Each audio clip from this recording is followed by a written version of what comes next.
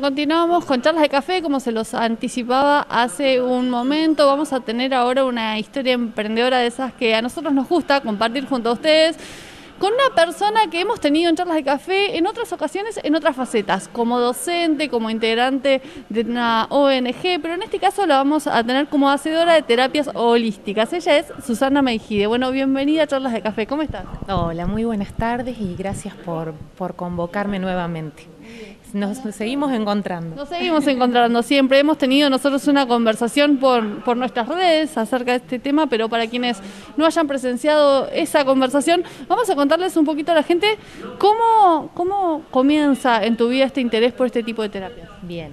Eh, bueno, les cuento que yo soy docente, ¿sí? Eh, hace mucho tiempo que ya me desempeño en, ese, en esa profesión. Y bueno, y en todo esto que vos me preguntás, eh, fue como que comencé con mi mamá. Mi mamá me, empezó a, interesar en todo este tipo, todo taller que había, nosotros nos anotábamos. En realidad me anotaba mi mamá y yo iba con ella para acompañarla. Y después es como que me empezó también a gustar a mí. En realidad primero fui de acompañante y después empecé a, sentirlo, porque primero es esa curiosidad. De, exactamente. Y después comencé a sentirlo, ¿sí?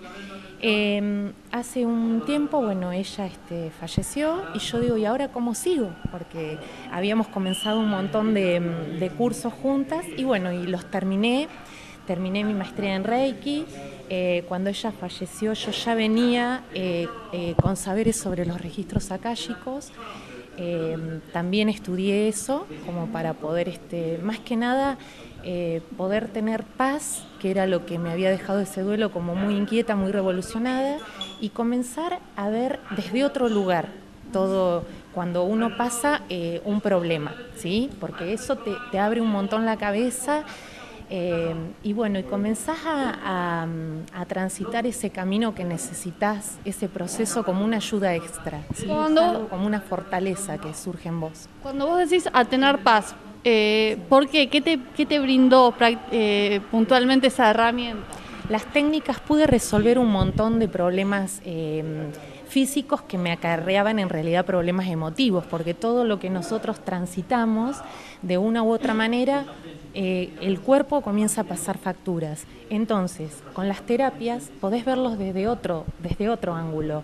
Em, y podés comenzar, eh, como te digo, a tener esa sensación en las emociones de paz, de tranquilidad, de ver desde la vereda de enfrente lo que nos está pasando. Y con las terapias, ya sea registros, reiki, otras terapias, hay un montón, yo nombro las que yo realizo, em, al verlo desde otro lugar, comenzás a encontrar como eh, la punta del hilo para poder realizar ese camino de sanación. Respuestas, respuestas que a veces están en nuestro interior, pero que vienen en estas terapias a través de voces superiores, ¿no? Y no hay que tenerle miedo a esto, porque para quien tal vez nunca incursionó este tipo de terapias como registros, que suena algo como demasiado ahí como subjetivo y en el aire, y hasta que uno sinceramente no lo experimenta, y esto lo digo desde lo personal, no, entiende el poder que pueden llegar a tener, eh, esa posibilidad que te brinda conectarte con seres superiores que te guían. Y esto no es mucho. No, exactamente. Muchas personas me, me, preguntan sobre determinadas cosas. ¿Qué pasa si me decís algo que no, que me da temor, que no es positivo? Y yo siempre les explico que en cada eh, comunicación con los maestros es siempre un mensaje desde lo más amoroso. Que va a haber cosas por resolver, siempre vamos a tener. Porque por eso llegamos al lugar donde llegamos para hacer una consulta. Eh, hay personas que realmente lo hacen por curiosidad y dicen, a mí me va re bien, pero yo quiero saber. Y por ahí a veces es como que nos cerramos, bajamos una persona y decimos, nos va re bien, pero todos tenemos cosas que sanar y cuando comenzamos a mover esa energía es maravilloso porque nos empiezan a caer las fichas y, y nos vamos reacomodando a otra realidad. ¿Sí? Nosotros somos seres terrenales, pero tenemos que sanar, eh, o sea, desde lo material, obviamente, necesitamos sostenernos con algo que, se, que, tengamos a la vista, pero cuando comenzamos a sanar nuestro, nuestra alma, nuestro trayecto de vida, nuestras emociones, es maravilloso. Bueno, vos practicás eh, o ofreces tres terapias, como decíamos, Reiki, Tarot, de lo cual tenemos aquí un despliegue y ahora antes de irnos vamos a, sacar una carta para la conductora.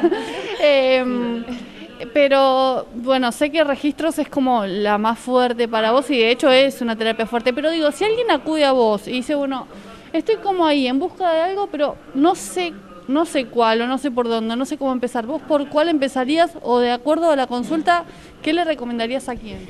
Yo en realidad, eh, cuando me porque cuando las personas eh, llegan a mí, me plantean determinadas cosas. Depende de la profundidad del problema que tengan, es lo que yo les recomiendo. Si vienen de una situación de duelo o están transitando alguna enfermedad, lo más, eh, lo más recomendable es ir al registro akáshico, que te lleva a sanar un montón de cosas y además cosas que traemos de vidas pasadas también, lo que es karmático a través del registro akáshico lo, lo, vamos rastreando, digamos. Siempre hay un ejercicio, alguna oración, seres que se hacen presentes para que nosotros lleguemos a ese punto de sanación. No vamos a hacer maravillas en una sola sección, es como empezar a sacar la primera capa de la cebolla. Y hay personas que me dicen, porque yo quiero saber a ver qué pasa con mi separación, mi pareja, es como que es, no es tan profundo, entonces podemos trabajarlo con el tarot. Entonces, cada cosa que las personas me preguntan, yo le digo, bueno, vos podés comenzar con esto. La elección es tuya. Uno siempre sugiere, pero el otro es el que elige. Bueno, si yo quiero ahora, de repente que te tengo acá con todas las cartas desplegadas. Bien.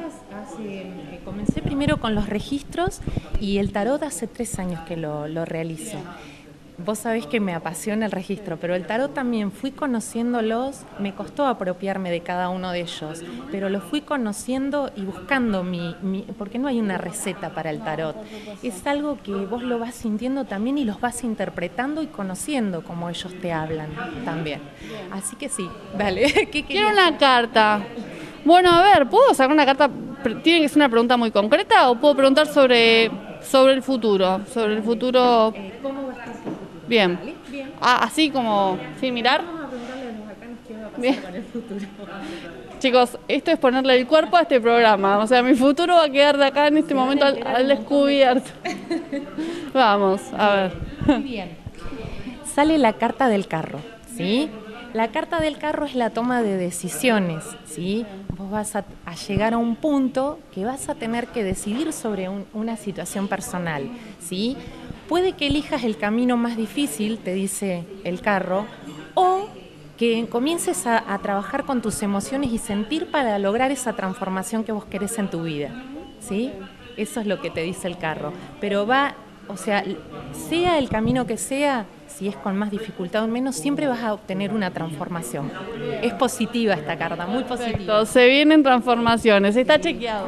Bien, y sentilo, sentilo para poder tomar el camino más fácil, ¿sí? Que no haya tantos obstáculos, porque en realidad nosotros venimos a ser felices, siempre elegimos el camino más sinuoso, bueno, es nuestro aprendizaje, pero si comenzáramos a sentir un poquito más qué es lo que deseamos, lo que, lo que necesitamos en nuestra vida, todo sería más fácil y llegaríamos más fácil también a nuestros objetivos. Bueno, Azul, la verdad es que gracias por este ratito que, nos has compartido para contarle también a la gente. Yo lo que recomiendo, y esto es algo personal, que a la hora de, acudir a una terapia siempre acudan a alguien profesional, que tenga cuidado, porque esto abre muchos canales de información y, y bueno, y es un tema delicado, pero vale la pena el recorrido. Es bellísimo que se animen. Anímense y los espero. Me tengo que ir ya, pero antes quiero decir que vos estás dando mucha, mucha información en tu nuevo canal de YouTube, así que que la gente te siga ahí. Que me sigan, estamos subiendo videos nuevos, su camino de luz, y bueno, y cualquier consulta queda registrada en la caja de información. Ahí hace tiradas gratis de tarot semanales, así que muy, muy interesante. Muchas gracias, tu próximo. Gracias a vos por siempre tenerme en cuenta. Un gusto.